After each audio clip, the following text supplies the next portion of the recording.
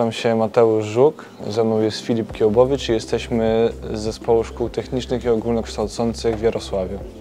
Przyjechaliśmy na konkurs zaprezentować nasz projekt pod tytułem SEMPER, urządzenie do rehabilitacji stawoskokowego, który ma właśnie usprawnić procesu wspomnianej rehabilitacji oraz y, wsparcie ośrodków rehabilitacyjnych.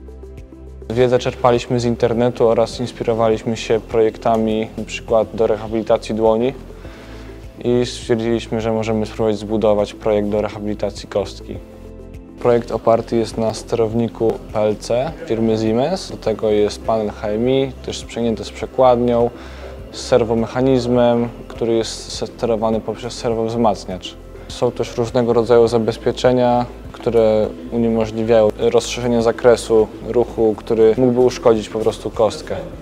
To jest szafa sterownicza, w której można sterować parametrami maszyny i zadawać jej po prostu dane.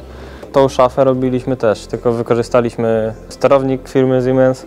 I tu mamy tutaj ten sterownik PLC, driver do serwomotoru, który jest odpowiedzialny za ruchy. No i tutaj mamy w tej przedniej obudowie właśnie ten panel do zadawania parametrów i do odczytu.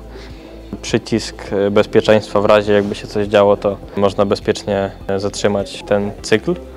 No i też są wyłączniki krańcowe, tu jest jeden, na dole jest drugi, żeby nie przekroczyć bezpiecznego zakresu.